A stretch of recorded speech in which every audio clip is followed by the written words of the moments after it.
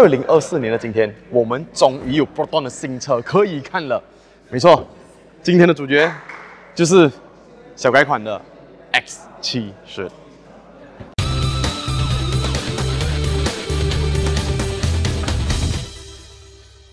Proton X 七十在六年前马来西亚开卖，今天过了六年的时间，它终于小改款了。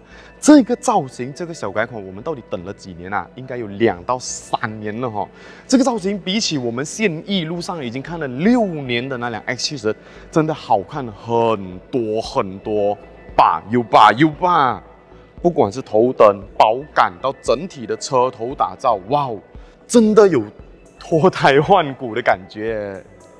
这，你你没有等很久吗？对我觉得就是我我觉得消费者已经等到就是不想买这辆车了，然后今天他终于给了大家一个截然不同的外观了。好，我们来讲一下这次小改款的 X 七十到底改变了什么。价钱的部分呢，我们现在没有拿到，不过这支影片发布的时候应该就是它正式发布了，所以到时价钱应该会公布出来。我们也猜测四个车型嘛，Standard。Executive Premium 以及 Premium X 四个车型，价钱应该跟之前不会相差太多。为什么会这样猜呢？很简单，因为现在它的对手非常非常凶猛。你看嘛，Cherry Tiggo 7 Pro 高配也卖着一百二十三千八百。这辆车如果它在涨价，要怎么跟对手竞争呢？而且还有很重要一件事哦，今天小改款的这个 X 七十。它跟对手不一样，之前我们说 X 七十有一点五公升三缸跟一点八公升四缸，可是其实 Proton X 七十在好几个月之前就悄悄把一点八公升拿掉了，所以其实不管是之前在卖的还是现在卖的 X 七十，都是只有一点五公升三缸的涡轮增压汽油引擎哦。叮叮，有没有很惊喜呢？对，这就是目前你大家可以买到的，不管你买哪一个车型，对，它就只有一点五公升三缸。好，动力规格说一下，它的这颗引擎输出的马力同样是一百七十七匹，扭力峰值是两百五十五的牛顿米。就哎，很多人会猜测啊，哎，这次的 X 七十会不会心血来潮把这个四十八 V 加下去？没有，它仍旧是这个呃。汽油引擎搭七速双离合的变速箱，那我我觉得这这是一个好事啦。就有些人觉得，哎，我多了一个轻油电，会不会更加多东西需要去麻烦？但有些人就喜欢轻油电的这个加速感，可能有动力辅助更好。所以今天是没有的，它就是一个纯粹的汽油涡轮增压而已。小改款究竟改变了什么？这件事大家应该很在意了。第一点肯定不用我说的，就是造型。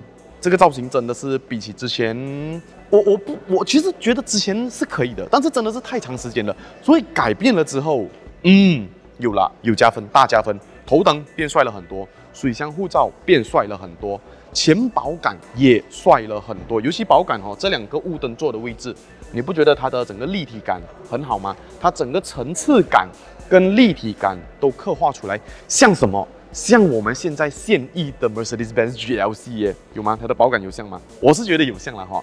轮圈的部分呢，Standard 十七，Executive 十八，这两只 Premium 十九寸，Premium 跟 Premium X 都是十九寸的轮圈。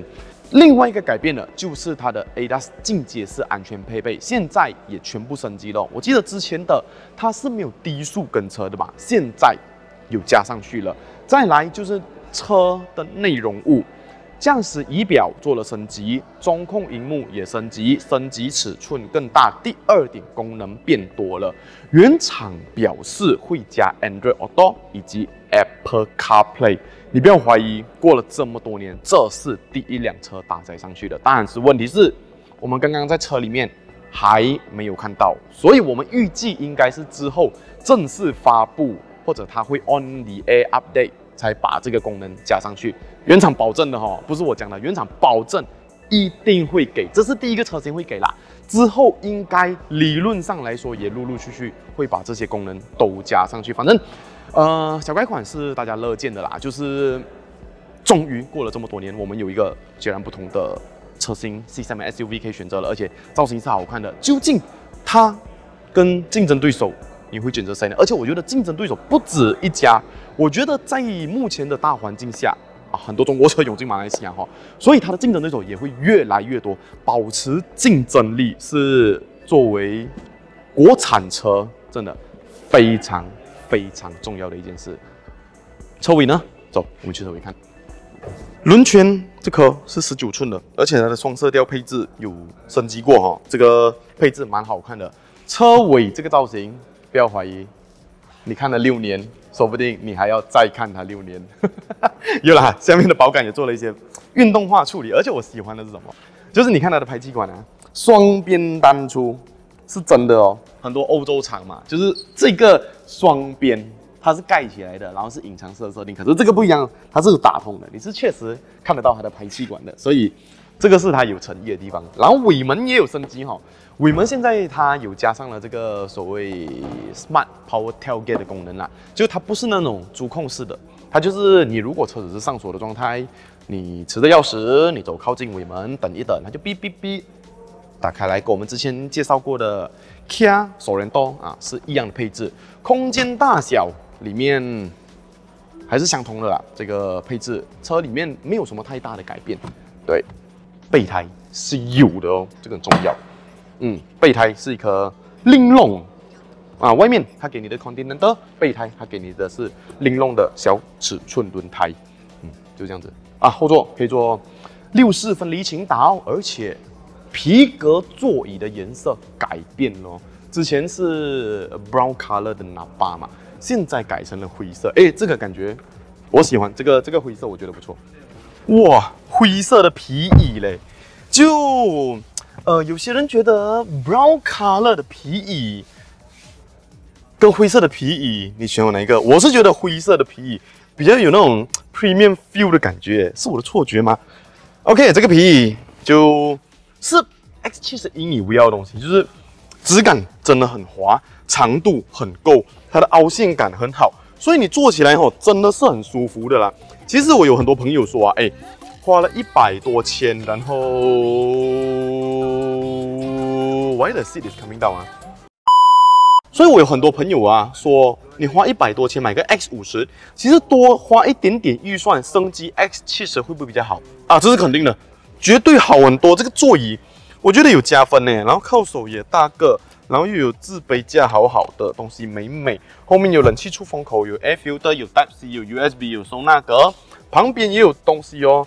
它这个皮革也换成了灰色，然后有一些这些，嗯，也是这种，就是呃多层次的材质啦。它上面是软的，中间 Hard Plastic，下面皮革，然后就是它的 Hard Plastic 也有多多不同的。Layer 出来给你看，所以整个造型是蛮好看的。上面因为是最高配 Premium X，所以它有全景式的大天窗灯，看一下，哦呦，有点有点小小 loose 啊。OK，不用紧，这个是小事了，其实，但是它 LED 亮度有够，我觉得 OK。然后一样啦，就是这辆车最厉害的地方就是有 b o s Switch 啊，你从旁边就可以推后那个副座的椅背。对好，坐上它的驾驶舱哦，有很多焕然一新的东西。什么呢？仪表是新的，算是新的。对，中控荧幕肯定是新的。然后还有一个很特别的哦，有 ambient light 哎，就好好好奇妙一件事。OK，它的 ambient light 就是好像就是在这边而已。然后据说有七十二种颜色可以换呐。我来看一下哈，我还没有去研究它的，诶，它的。颜就啊，N 边来有，它有很多颜色可以换的啊！你看它现在是，它现在是蓝色，我给它变紫色，然后变红色，然后变绿色啊。对，是它确实是可以调整，但是就 OK，竞争对手的 N 边 light 你们还记得是什么样的吗？哇，冰冰冰冰啊！所以就。你你如果没有比较就没有伤害，你知道吗？这个就有一点点是是，我觉得是不错的，但是对手真的有点过分了，不可以这样子，这个叫玩臭，OK？好，驾驶仪表，之前我们一直觉得说，哎，那个仪表虽然是全数位的啦，可是其实整个很阳春。那今天我觉得这个会稍微比较好一点，它的整个呈现呐，呃，再加上它的 ADAS 的呈现方式，应该会比之前都来得好。第二个就是中控荧幕啊，之前就是在在这被夹在这个中间嘛，就小小个，然后就功能很受限。今天这样子就明显大了很多，然后。显示的功能肯定也齐全很多，只是你看一个东西哈，我刷，看看一眼，OK，看两眼，对，Android Auto、Apple CarPlay 现在是还没有放进来的，所以原厂讲有，应该就是之后会升级加进来咯。好，三六零环境显示跟之前一样是非常非常高清的，这个是。这个是 X7 很大加分的地方了，比起目前同级的这个 C7 SUV 来说，它真的这个画质真的很好。下面双区恒温空调，七速双离合的排档杆，驾驶模式可以切换 Eco 跟 Sport，还有 Normal Mode，电子手刹车，自动驻车，两个置杯架，下面有小小收纳格，有一颗 Type C 在旁边，驾驶是 USB。副座是 Type C，上面也有 USB，然后有小小个的 armrest，有小小个的收纳格跟电源插槽。驾驶盘一样，三幅式的设计，后面没有换挡拨片。里面的东西跟之前应该也是一样的啦，就就做一些小更新这样子。整体上而言，这这辆车很明显做了升级啦，里里外外就。再卖多一波没有问题，但就像前面我讲的一样，你要维持这个竞争力。对我觉得目前是有加分的，你的销售肯定是有成绩的。怎么样持之以恒，继续去给对手压力？哎，这一点就真的是非常非常重要了。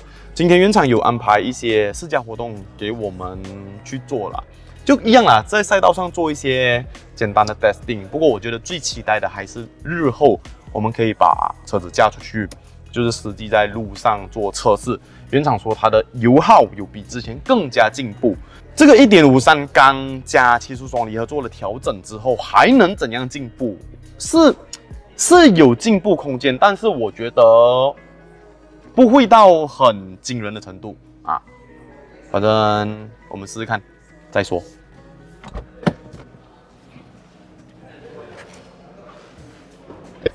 好，我们又回到非常熟悉的这条路上了哈。嗯，OK，开始走了。一点五公升三缸配七速双离合的变速箱，那我们就踩吧。动力，我我真的不了解为什么大家总说一点五公升不够用诶，我觉得它的速度其实蛮快的。你每天要拉到满的咩？我其实不太懂诶。对啊，我觉得它动力其实充充充沛的，等等等。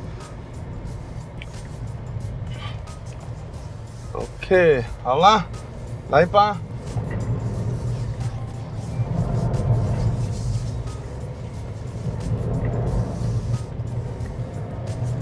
虽然它是一辆这么大辆的 SUV，可是我真的是觉得说，它驾驶起来哦，我觉得是 OK 的哎。